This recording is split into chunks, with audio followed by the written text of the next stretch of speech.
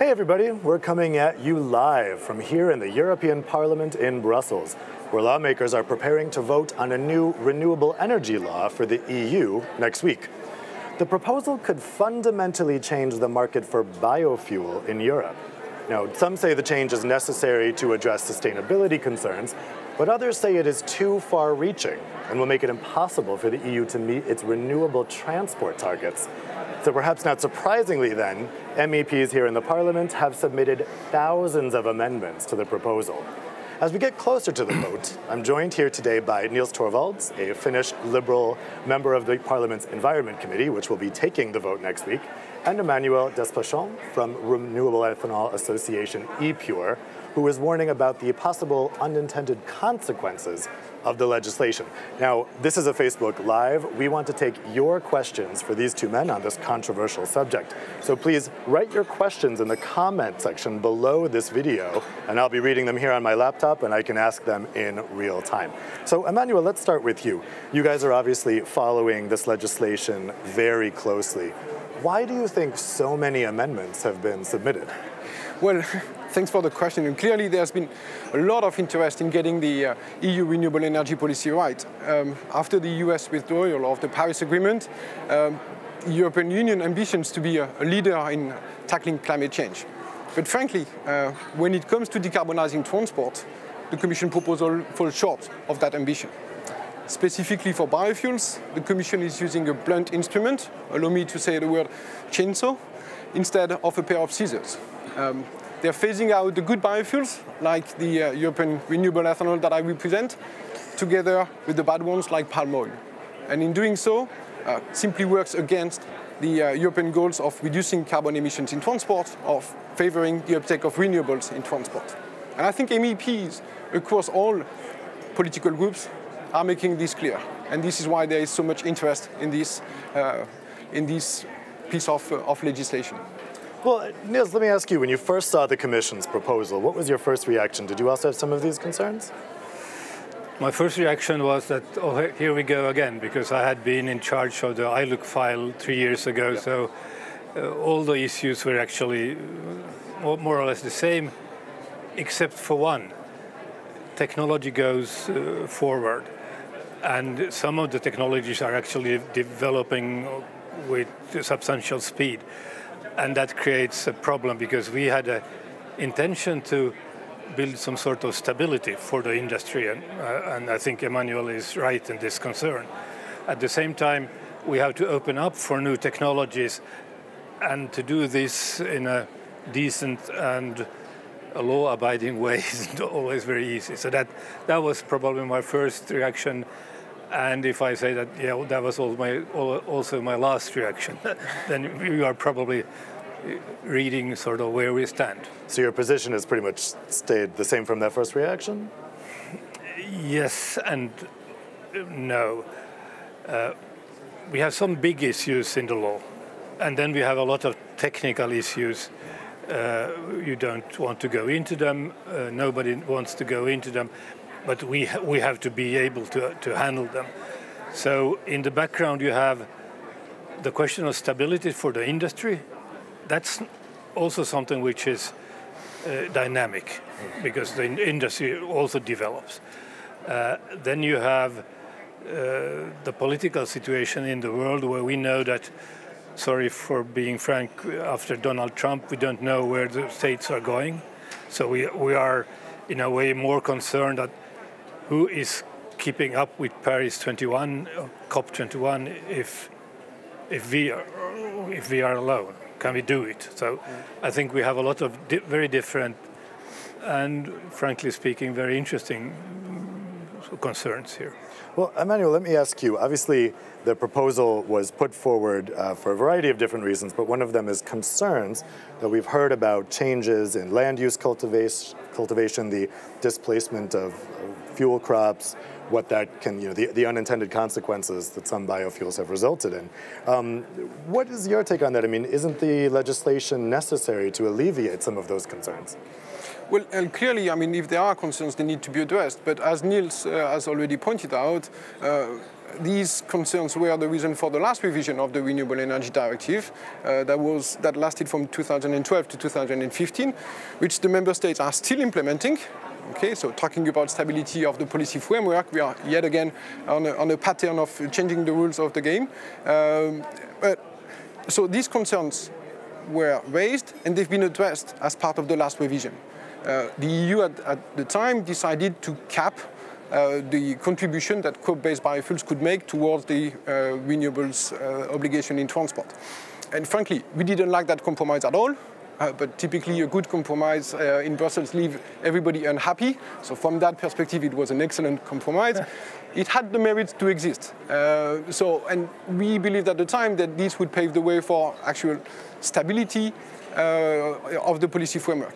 But there was also something else. In that particular revision, Nils, uh, you've put a clear mandate on the European Commission to come up with proposal for a stable, long-term policy framework that would incentivize the biofuels with high greenhouse gas savings and low risk of adverse impact.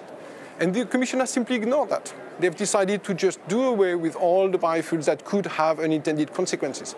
From where we stand, we believe that if these concerns are still there, what we need to do is, instead of punishing all the biofuels and paint them with the same brush, we need to have more stringent sustainability criteria to incentivize better performance, because then we will make the necessary investment to deliver in that respect.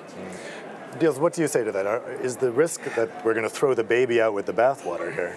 Well, politics sometimes sometimes do that, but in the background you have what happened 2007, 2008 if you look at the, the corn future prices on the, on the Chicago market, and all of a sudden uh, the corn price skyrocketed.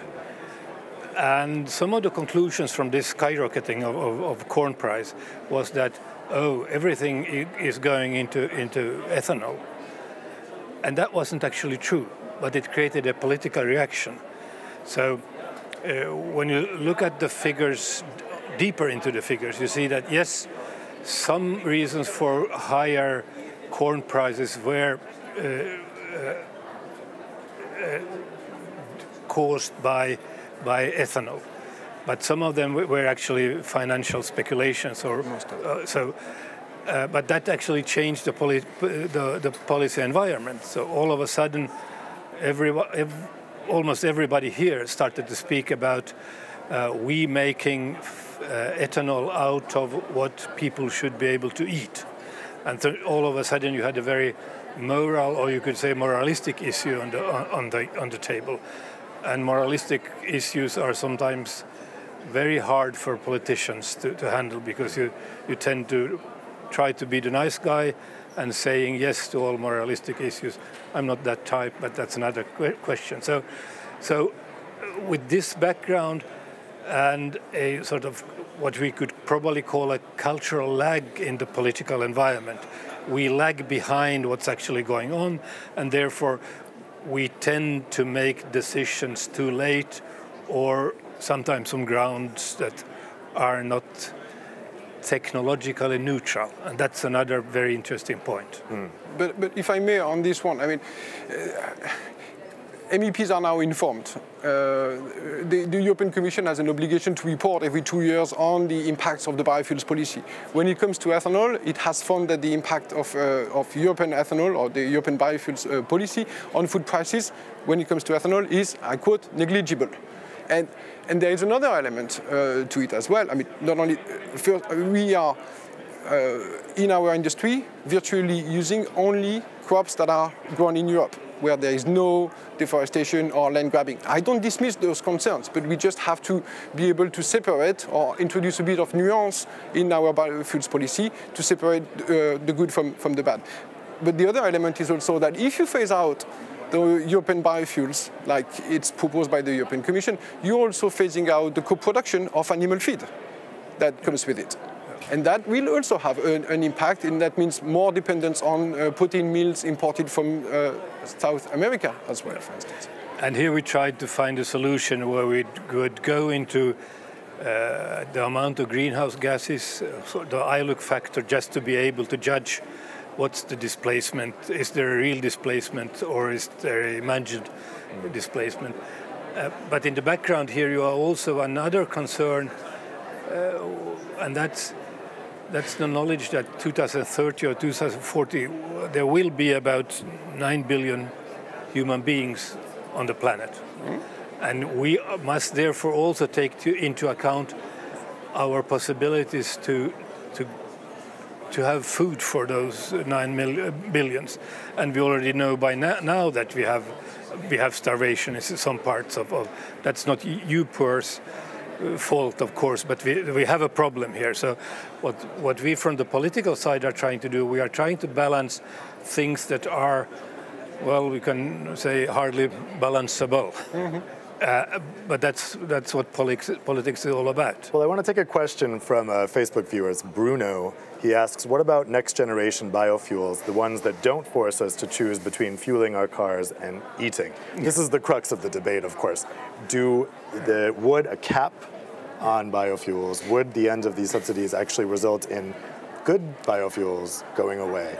Uh, but part of that issue is what is a good biofuel? How do you define it? Isn't that the, the tricky thing, like Bruno was suggesting? Yeah, so I would disagree with Bruno that actually uh, the, the, that when it comes to crop-based biofuels, you actually have to make a choice between food and fuel. But we've just addressed that. Uh, now, let's be clear: we are supportive of so-called advanced biofuels that are made of waste and residues uh, and the likes. Um, I think they have a valuable and growing role to play. Uh, now, where will the investment in these advanced biofuels come from? Okay? And that is very important because you need a stable policy framework to, to attract investment. Okay? And what you cannot do is tell those investors in the crop-based uh, biofuels, thanks very much for having invested as a direct response to our policy call. Now we're going to shut you down, but please do invest now in facilities for advanced biofuels. Okay? And that is where really the balance has to be struck by the politicians to make sure that the investments that have been made can run and incentivize more investment into uh, cellulosic ethanol where, when it comes uh, to our industry. Well, Nils, do you think if, if first generation biofuel was totally phased out, would second generation biofuel still receive investment? I think we have a, a psychological issue here because if uh, and Emmanuel is, I think, right in at least one respect. If the investors think that the uh, that we have an unstable environment uh, in regarding biofuels in general, uh, then they might be very hesitant to, to, to, to to uh, invest. And therefore, we try to be very careful with what is called grandfathering clause. Mm. That if you are in, in the production, then you should be able to be there in the production for a certain uh, uh time. And therefore, when the Commission came out, instead with 7% as a cap on first generation biofuels with a 3.8 cap on biofuels, then they actually changed the environment. They actually changed the, the, the environment in which the first generation uh, fuel producers worked. So they, that, that created one problem. And then the second part of it, Bruno's question is, what is next generation, the new uh, biofuels? Because that's, yes, we have second generation biofuels. At the same time, we see technological pro, uh, process going in a certain direction. Uh, algae, uh, bacteria, but we do, they are not yet Mature. on a scale where you can use them. So where are the different so paths of different technologies going? And we just have to, that's guesswork for our part.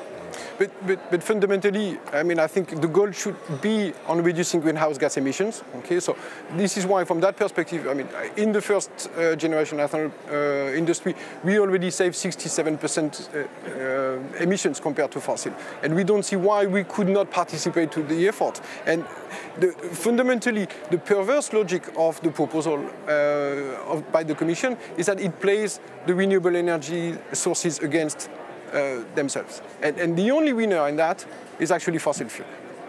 So yeah. we need more ambition. I think, I think you have a point uh, because what you see is oil companies sort of going from fossil oil into the first generation, trying to find technological solutions going into second generation, mm. probably heading for a third generation.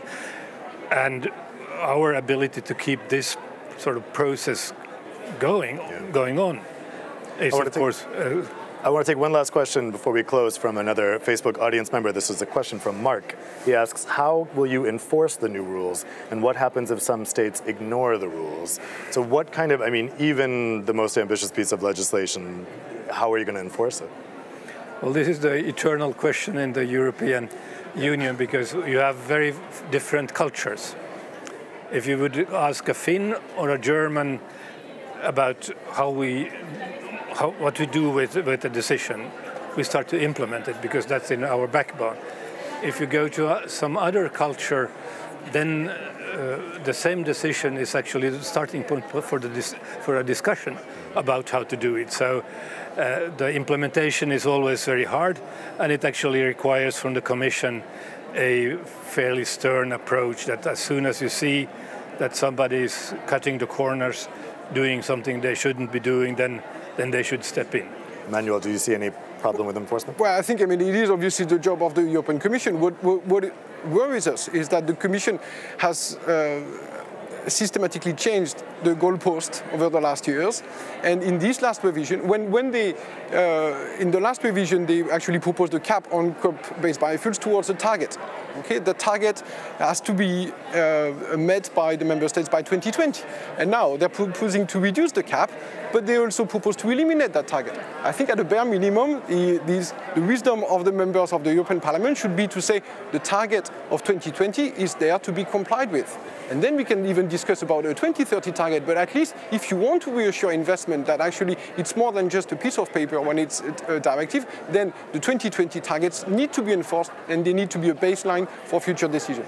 Well, that's all the time we have for today. Obviously, this is a debate that's going to rumble on in the halls of this parliament until next Monday when the vote is happening in Strasbourg. Thanks everybody for watching and be sure to continue interacting with us as we continue discussing this topic. Okay. Thanks.